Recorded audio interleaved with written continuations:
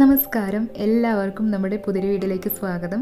തലേ ദിവസം അരി കുതിർക്കാനും അരി അരയ്ക്കാനും മറന്നു പോകുമ്പോഴും സമയമില്ലാത്തപ്പോഴും രാവിലെ അരിപ്പൊടി കൊണ്ട് മാവ് തയ്യാറാക്കി പത്തോ പതിനഞ്ച് മിനിറ്റ് കൊണ്ട് പുളിപ്പിച്ചെടുത്ത് ഉടനെ തന്നെ ചുട്ടെടുക്കാവുന്ന ഒരു അപ്പമാണ് ഇന്നത്തെ നമ്മുടെ റെസിപ്പി ഒപ്പം തന്നെ മാവ് പുളിക്കാൻ എടുക്കുന്ന ആ ഒരു പത്തോ പതിനഞ്ച് മിനിറ്റ് കൊണ്ട് ഉള്ളി വഴട്ടാതെ എളുപ്പത്തിൽ കുക്കറിൽ തയ്യാറാക്കിയെടുക്കാവുന്ന ഒരു മുട്ടക്കറി കൂടി നമ്മൾ തയ്യാറാക്കുന്നുണ്ട്. തിരക്കുള്ള ദിവസങ്ങളിൽ വെറും അരമണിക്കൂർ കൊണ്ട് എളുപ്പത്തിൽ എന്നാൽ രുചിയൊട്ടും കുറയാതെ തയ്യാറാക്കിയെടുക്കാവുന്ന ഈ ഒരു ഈസി ബ്രേക്ക്ഫാസ്റ്റ് എങ്ങനെ തയ്യാറാക്കിയെടുക്കാമെന്ന് നമുക്കൊന്ന് നോക്കാം. ആദ്യം തന്നെ നമുക്ക് അപ്പത്തിന് വേണ്ട ഒരു മാവ് തയ്യാറാക്കണം. അതിനായിട്ട് മിക്സിയുടെ അരയ്ക്കാൻ ഉപയോഗിക്കുന്ന ജാർ എടുത്തിട്ട് ഇതിലേക്ക് ഒന്നര കപ്പ് വെള്ളം ഒഴിച്ച് കൊടുക്കാം. ഓരോ അരിപ്പൊടി അനുസരിച്ച് വെള്ളത്തിന്റെ അളവിൽ കുറച്ച് വ്യത്യാസം ഉണ്ടാവാം. അതുകൊണ്ട് ഒന്നര കപ്പ് വെള്ളത്തിൽ നിന്ന് ഒരു കപ്പ് വെള്ളം ഇപ്പോൾ ഒഴിച്ചിട്ട് ബാക്കി അരക്കപ്പ് വെള്ളം അരയ്ക്കുന്ന സമയത്ത് ആവശ്യമനുസരിച്ച് കുറച്ച് കുറച്ചായി ഒഴിച്ച് നരച്ചെടുത്താൽ മതി. ഇനി ഇതിലേക്ക് നമുക്ക് ഒട്ടും തരിയില്ലാതെ ഫൈനായിട്ട് പൊടിച്ച് വറുത്ത് വെച്ചിട്ടുള്ള ഒരു കപ്പ് അരിപ്പൊടി ഇട്ട് കൊടുക്കാം. നമ്മൾ അപ്പത്തിനും ഇടിയപ്പത്തിനും പത്രിക്കൊക്കെ വേണ്ടിയിട്ട് കടയിൽ നിന്ന് വാങ്ങുന്ന അരിപ്പൊടി എടുത്താലും മതി. ഇനി നമുക്ക് ഇതിലേക്ക് വേണ്ടത് അവലാണ്. വളരെ തിന്നായിട്ടുള്ള വെളുത്ത അരക്കപ്പ് അവലാണ് എടുത്തിട്ടുള്ളത്. ഈ അവൽ നമുക്കൊന്ന് നനച്ചെടുത്ത ശേഷം ഇതിലേക്ക് ചേർത്ത് കൊടുക്കാം. അവൽ നനച്ചെടുക്കുമ്പോൾ ഇതിൽ കുറച്ച് വെള്ളം ഉണ്ടാവും. അതുകൊണ്ട് വെള്ളം ചേർക്കുമ്പോൾ ഇതുകൂടി ഒന്ന് ശ്രദ്ധിച്ച് വേണം വെള്ളം ചേർക്കാനായിട്ട്. അവലിന് പകരമായിട്ട് നമുക്ക് വേണമെങ്കിൽ ചോറ് ചേർക്കാം. ഇനി അവലും ചോറ് ഇല്ലെങ്കിൽ അതിന് പകരമായിട്ട് രണ്ട് ടേബിൾ സ്പൂൺ അരിപ്പൊടി ഒന്ന് കുറുക്കി ചേർത്താലും അപ്പം നല്ല സോഫ്റ്റായി കിട്ടും. ഇതിലേക്ക് നമുക്ക് ഇതുപോലെ അരക്കപ്പ് ചിരകിയ തേങ്ങ കൂടി ചേർത്ത് കൊടുക്കാം. നമ്മളിത് പെട്ടെന്ന് തന്നെ തയ്യാറാക്കുന്നതുകൊണ്ട് മാവൊന്ന് പൊളിച്ച് കിട്ടാനായിട്ട് ഇതിലേക്ക് നമുക്ക് ഒരു ടീസ്പൂൺ ഇൻസ്റ്റന്റ് ഈസ്റ്റ് ചേർത്ത് കൊടുക്കാം. സാധാ ഈസ്റ്റാണ് ചേർക്കുന്നതെങ്കിൽ ഇതുപോലെ നേരിട്ട് ചേർക്കാതെ കാൽ കപ്പ് ചൂടുവെള്ളവും ഒരു ടീസ്പൂൺ പഞ്ചസാരയും ചേർത്തൊന്ന് മിക്സ് ചെയ്ത് ഒന്ന് പൊളിപ്പിച്ചെടുത്ത് വേണം ചേർക്കാനായിട്ട്. ഇനി നമുക്ക് ഇതിലേക്ക് മാറ്റി വെച്ചിട്ടുള്ള അരക്കപ്പ് വെള്ളം കുറേശ്ശേ ഒഴിച്ച് ഒട്ടും തരിയില്ലാതെ നന്നായിട്ട് ഒന്ന് അരച്ചെടുത്തിട്ട് വരാം. അരച്ചെടുത്ത മാവ് നമുക്ക് ഇതുപോലെ ഒരു ബൗൾ എടുത്തിട്ട് ഇതിലേക്ക് ഒഴിച്ചു കൊടുക്കാം. ഒപ്പം തന്നെ മാവ് അരച്ച മിക്സി ജാറിലേക്ക് ഒരു കാൽ കപ്പ് നല്ല തിളച്ച വെള്ളം ഒഴിച്ചൊന്ന് കറക്കി അതുകൂടി ഇതിലേക്ക് ഒഴിച്ചു കൊടുക്കുന്നുണ്ട്. ഈസ്റ്റ് പെട്ടെന്ന് തന്നെ ഒന്ന് ആക്റ്റീവായി മാവൊന്ന് പൊളിച്ചു കിട്ടാൻ വേണ്ടിയിട്ടാണ് ഇതുപോലെ തിളച്ച വെള്ളം ഒഴിച്ചു കൊടുക്കുന്നത്. ഇനി നമുക്കിത് നന്നായിട്ട് ഇളക്കി യോജിപ്പിച്ചെടുത്ത് നോക്കാം. ഇതുപോലെ ഒരുപാട് കട്ടിയല്ലാത്തതും എന്നാൽ ഒരുപാട് ലൂസല്ലാത്തതുമായ ഈ ഒരു പാകത്തിനാണ് നമുക്ക് മാവ് കിട്ടേണ്ടത്. അങ്ങനെ ആകെ ഇതിലേക്ക് നമ്മൾ ഒന്നേമുക്കാൽ കപ്പ് വെള്ളമാണ് ഒഴിച്ചു കൊടുത്തിട്ടുള്ളത്. ഇനി ഇതിലേക്ക് നമുക്ക് നല്ലൊരു സ്വാദിനായിട്ട് ഒരു ടീസ്പൂൺ പഞ്ചസാരയും ഒപ്പം തന്നെ മൂന്നിലൊന്ന് ടീസ്പൂൺ ഉപ്പ് കൂടി ചേർത്ത് കൊടുക്കാം. ഉപ്പും പഞ്ചസാരയൊക്കെ നമ്മുടെ രുചിക്ക് ആവശ്യത്തിന് ചേർത്ത് കൊടുക്കാവുന്നതാണ്. ഇനി നമുക്കിത് നന്നായിട്ട് ഇളക്കി യോജിപ്പിച്ചെടുക്കാം. ഇനിയിപ്പോൾ നിങ്ങൾക്ക് ഈസ്റ്റോ സോഡാപ്പൊടിയോ ഒന്നും തന്നെ ഇതിലേക്ക് ചേർക്കാൻ ഇഷ്ടമില്ലെങ്കിൽ ഇതിന് പകരമായിട്ട് ഒരു ടേബിൾ സ്പൂൺ കുതിർത്തെടുത്ത ഉഴുന്നുകൂടി ചേർത്ത് മാവ് തയ്യാറാക്കി ഒരു മൂന്നോ നാലോ മണിക്കൂറൊന്ന് പുളിപ്പിച്ചെടുത്ത് അപ്പം ചുട്ടെടുത്താൽ മതി. അങ്ങനെ നമ്മുടെ മാവ് ഇവിടെ റെഡി ആയിട്ടുണ്ട്. ഇനി നമുക്കിത് പത്ത് മിനിറ്റ് കൊണ്ടൊന്ന് പൊളിച്ച് കിട്ടാനായിട്ട് ഇതുപോലെ ഒരു ഇഡലി തട്ടിലോ അതല്ലെങ്കിൽ ഒരു കുക്കറിലോ ഇറക്കി വെച്ചിട്ട് നല്ല ടൈറ്റായിട്ടൊന്ന് മൂടി വയ്ക്കാം മാവ് പൊളിക്കാനെടുക്കുന്ന സമയം കൊണ്ട് ഉള്ളിയൊന്നും വഴട്ടാതെ എളുപ്പത്തിൽ കുക്കറിൽ നമുക്കൊരു മുട്ടക്കറി തയ്യാറാക്കാം. ഞാനിവിടെ എളുപ്പത്തിനായിട്ട് കുക്കറിലാണ് മുട്ട പുഴുങ്ങിയെടുക്കുന്നത്. അതിനായിട്ട് നാല് മുട്ടയും ഒപ്പം തന്നെ ഒന്നര കപ്പ് വെള്ളവും കുക്കറിൽ ഒഴിച്ചു കൊടുത്തിട്ടുണ്ട്. മുട്ട മുങ്ങിക്കിടക്കാനുള്ള വെള്ളം വേണമെന്നില്ല. ഇതുപോലെ പകുതിയായാലും മതി. ഒപ്പം തന്നെ ആവശ്യത്തിനുള്ള ഉപ്പും കൂടെ തന്നെ മുട്ടയുടെ തോലൊന്നും ഒട്ടിപ്പിടിക്കാതിരിക്കാനായിട്ട് ഒരു ടീസ്പൂൺ വിനാഗിരി കൂടി ചേർത്തിട്ട് ഒരു മീഡിയം ഫ്ലെയിമിൽ വെച്ച് ഒരു വിസിലടിച്ചെടുക്കാം ഒന്നോ രണ്ടോ മിനിറ്റ് കൊണ്ട് തന്നെ കുക്കർ ഒരു വിസിലടിക്കും അതിന്റെ പ്രഷറെല്ലാം ഒന്ന് പോയതിന് ശേഷം കുക്കറിൽ നിന്ന് മുട്ടയെടുത്ത് നമുക്ക് തണുത്ത വെള്ളത്തിലേക്ക് എടുത്ത് മാറ്റി വയ്ക്കാം ആ ഒരു സമയം കൊണ്ട് നമുക്ക് കറിക്ക് വേണ്ട പച്ചക്കറികളെല്ലാം ഒന്ന് അരിഞ്ഞെടുക്കാം.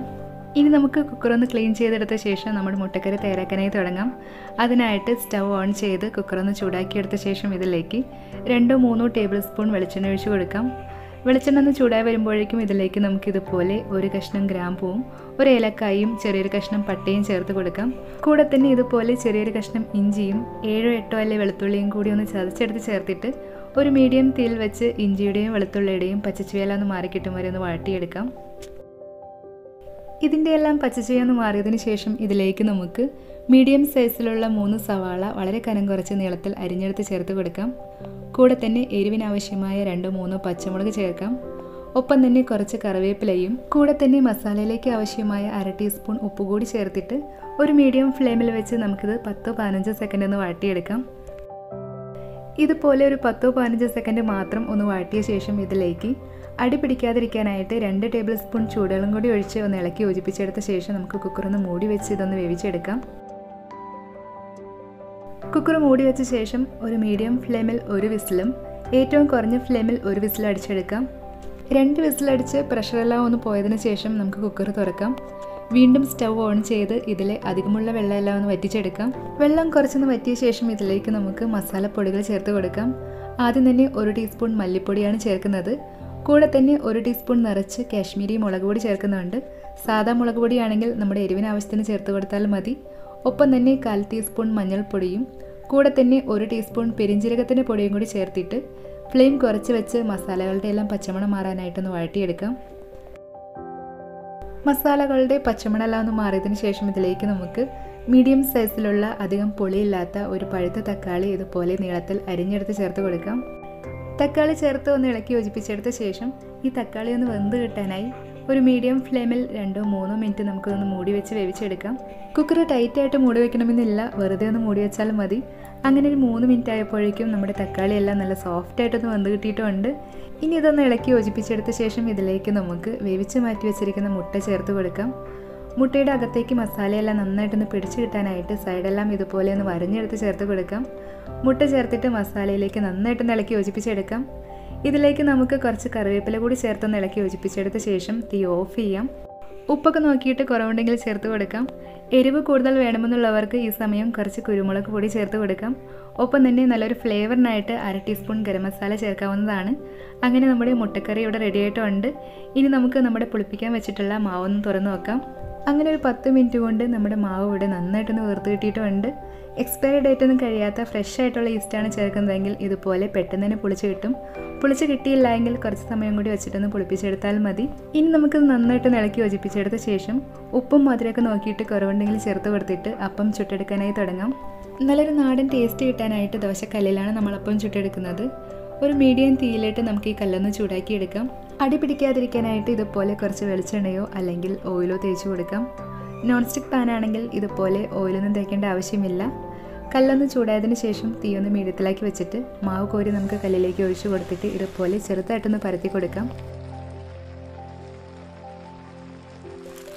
മാവ് ഒഴിച്ച് ഇതുപോലെ ഹോൾസ് എല്ലാം വന്നതിന് ശേഷം ഇതൊന്ന് മൂടി വെച്ച് ഒരു മീഡിയം തീയിൽ നമുക്കിതൊന്ന് വേവിച്ചെടുക്കാം.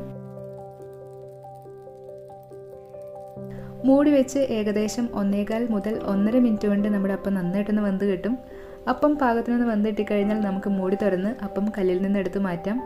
ഇതുപോലെ തന്നെ ബാക്കിയെല്ലാം നമുക്കൊന്ന് ചുട്ടെടുക്കാം. ഈ ഒരളവിൽ മാവ് തയ്യാറാക്കിയാൽ ഏകദേശം ഏഴ് അപ്പമാണ് നമുക്ക് കിട്ടുക. അപ്പോൾ നമ്മുടെ അപ്പത്തിന്റെ റെസിപ്പി ഇത്രയേ ഉള്ളൂ. ഇതുപോലെ വളരെ കുറഞ്ഞ സമയം കൊണ്ട് നല്ല സോഫ്റ്റും രുചികരവുമായ അപ്പം നമുക്കിതുപോലെ തയ്യാറാക്കിയെടുക്കാം ഇന്നത്തെ നമ്മുടെ ഈ ഒരു ഇൻസ്റ്റന്റ് അപ്പത്തിന്റെയും മുട്ടക്കറിയുടെയും റെസിപ്പി എല്ലാവർക്കും ഇഷ്ടമായെന്ന് കരുതുന്നു. ഇഷ്ടമായെങ്കിൽ വീഡിയോ ലൈക്ക് ചെയ്യാനും നിങ്ങളുടെ അഭിപ്രായങ്ങളും നിർദ്ദേശങ്ങളും കമന്റ് ചെയ്യാനും. ഇതുപോലുള്ള കൂടുതൽ റെസിപ്പികൾക്കായി ചാനൽ സബ്സ്ക്രൈബ് ചെയ്യാനും മറക്കല്ലേ? മറ്റു റെസിപ്പിയുമായിട്ട് ഉടനെ കാണാം. താങ്ക്